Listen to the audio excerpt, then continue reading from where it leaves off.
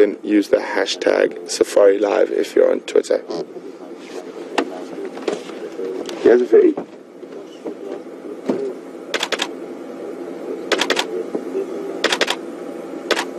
definitely don't think he's as old as um, Mvula.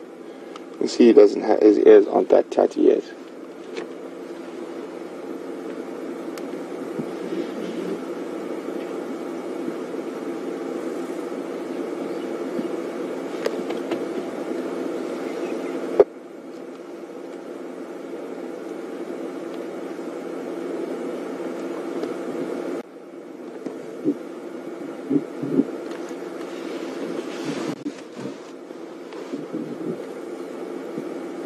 So, the main road that is sort of the boundary between Arathusa and Djuma almost acts as a natural boundary for the two big male leopards in this area.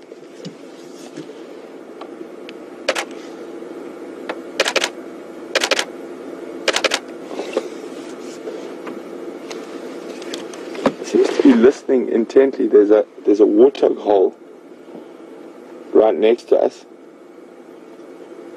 Well, it could be an aardvark hole. He's quite famous for catching aardvarks. But he seems very intent on this hole that's just next to us here, and I can see definitely fresh diggings in the hole.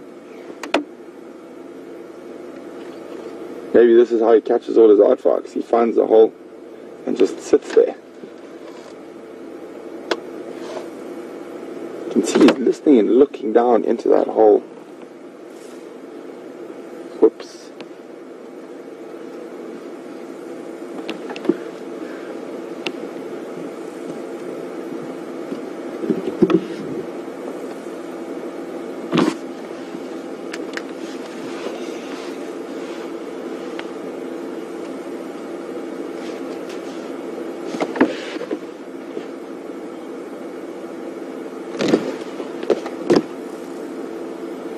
So, as I was saying, guys, that um, Remy on Twitter is just asking, is he waiting for something or is he is he resting?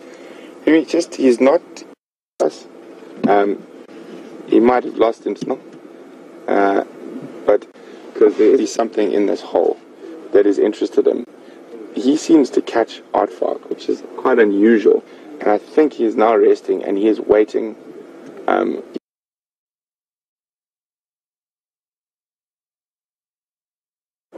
wait next to this hole. I can see fresh diggings in that there. I can't see any tracks and whatnot, but I, I will have a look uh, just now if I can have a of look into that.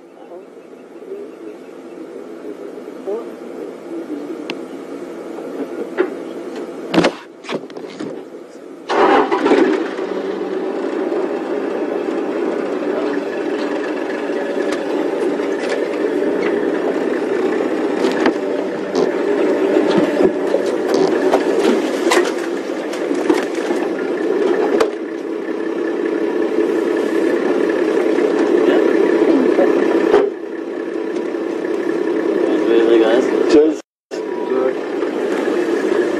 So, I think he's gonna. I think he's waiting here personally. Um, he will probably rest here. I'm just gonna.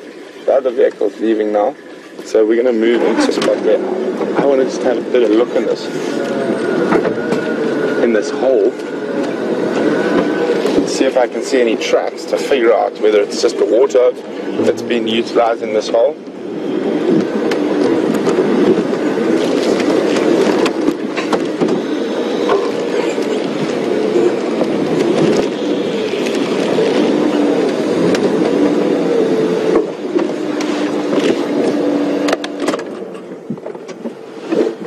Just parking here so I can have a quick look.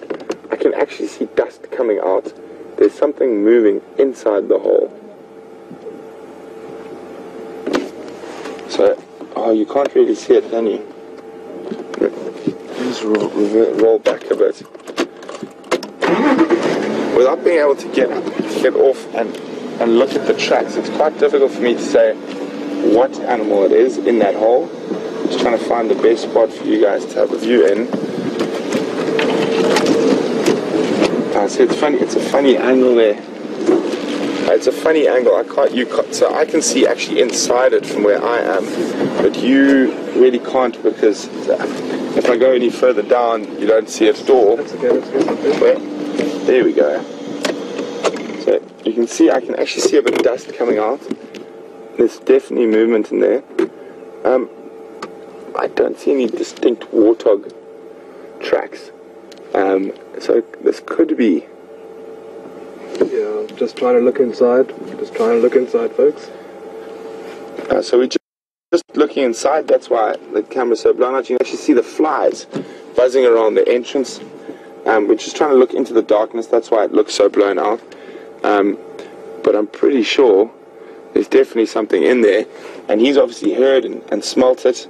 So that's why he's playing the patience game. Clever leopard, and he's going to wait here until something happens. I'm just going to go around again. I think this could be an aardvark in here. I don't see sort of distinct tracks that would make me think it was a warthog. Um, and the top is um, very smooth, the top of the, the hole.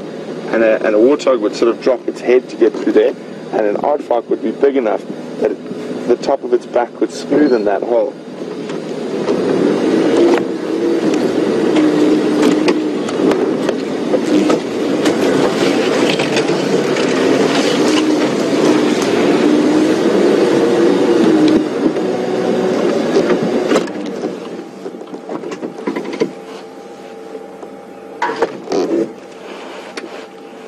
So you can see, see he's now positioned himself where this good cover, very close to that that uh, that hole. So if anything comes out, um, he's in a really good position to grab it um, without it seeing him.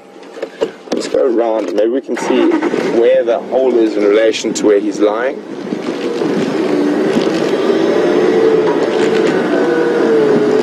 So he's lying. There we go. You can see him there. And you can see how well that his camouflage is working. And then you can see that mound beyond him. There's the entrance to that hole.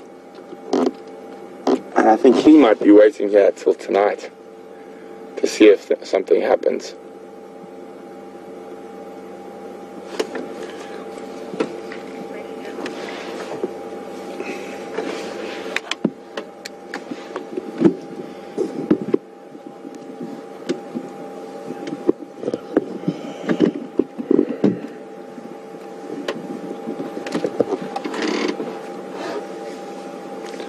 Good morning, Blair New Zealand. They would like to know, well, why doesn't he just stick his paws in and grab the aardvark?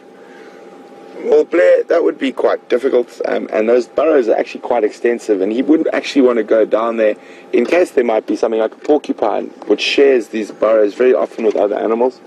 And um, let me just move the vehicle quickly.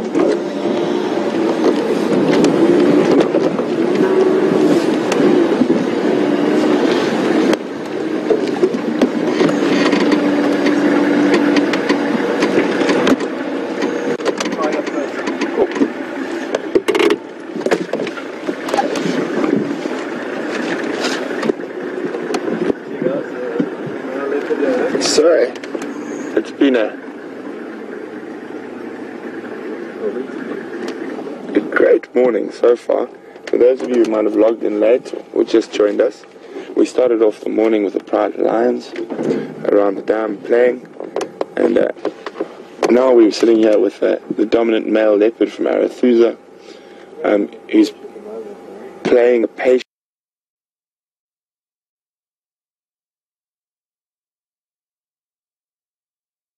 game, uh, waiting for an animal that's in a hole, and uh, he's probably going to wait here the majority of the day, uh, and just to see what what comes out of that hole. You could see dust coming out of it just now. There's something. He's going to lie down here and there are quite a, a, a lot of other vehicles that are, are trying to get into the sighting, guys. So we've been lucky. We've we've had a good view of them. Um, so I'm just going to get hold of Ryan, who's who's waiting close by, like we were, um, to come in and have a look. Ryan, coming. Uh, what's your position? Copy. Um, let me know when you get to um, the saf- Safari access, and I'll make space for you.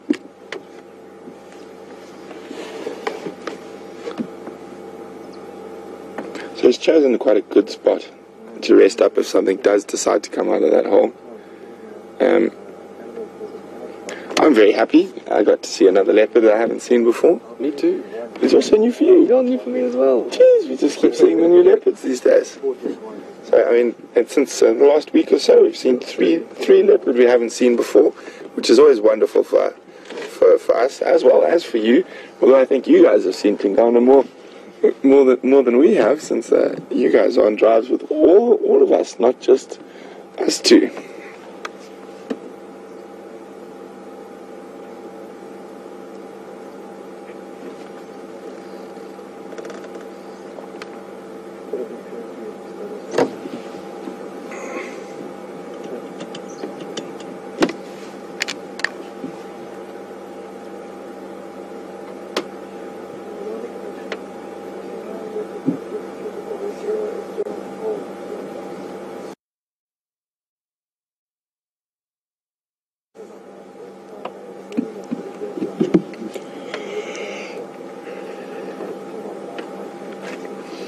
Morning, D. Hodgkins.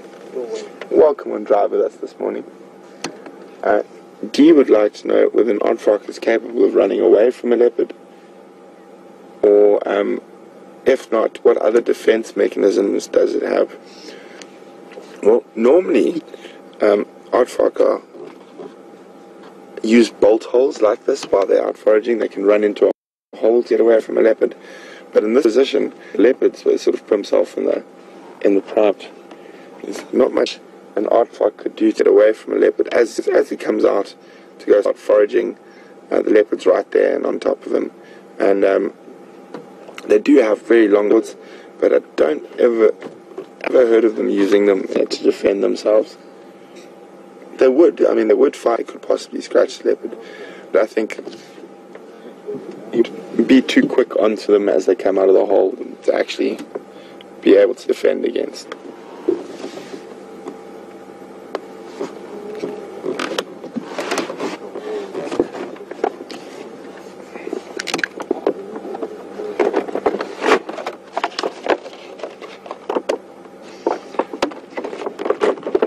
Good morning, Anne, on Twitter. Anne would like to know whether aardvarks are nocturnal. Yes, Anne, they do feed occasionally during the day, but most of the time they are um, nocturnal. And generally they only get moving after the sort of peak predator hours in the evening. So probably after 9, 9 o'clock, uh, 10 o'clock at night, they would come out. Um, not always, but generally, and it all depends on the predator densities of the area as well. But yes, and uh, they are mostly nocturnal.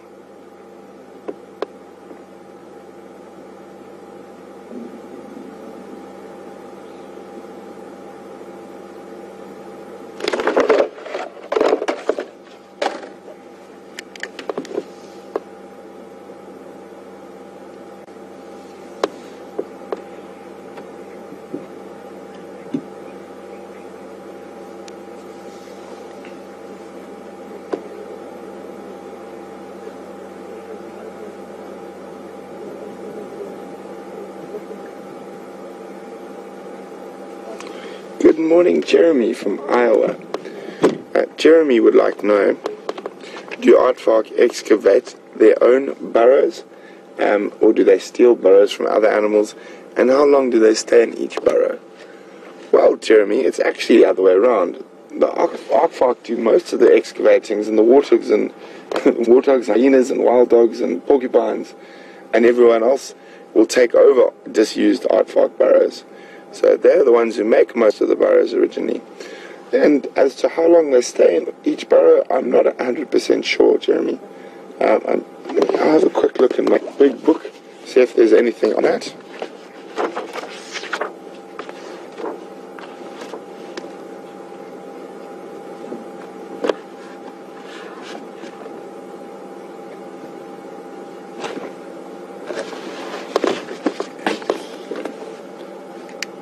Go ahead.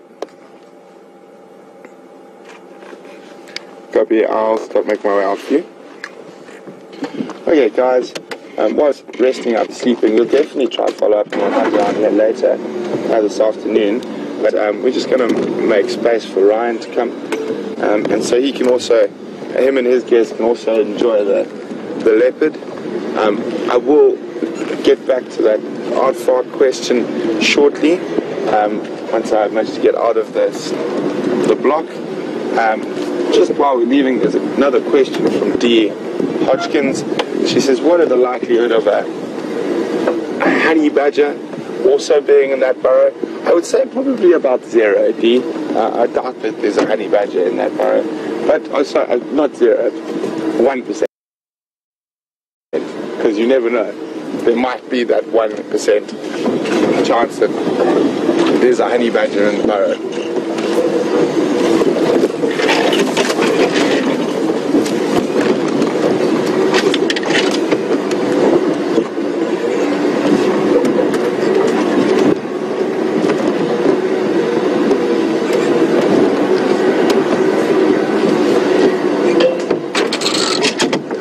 Leaving one station with Tingana, uh, one station making their way, no stations on standby.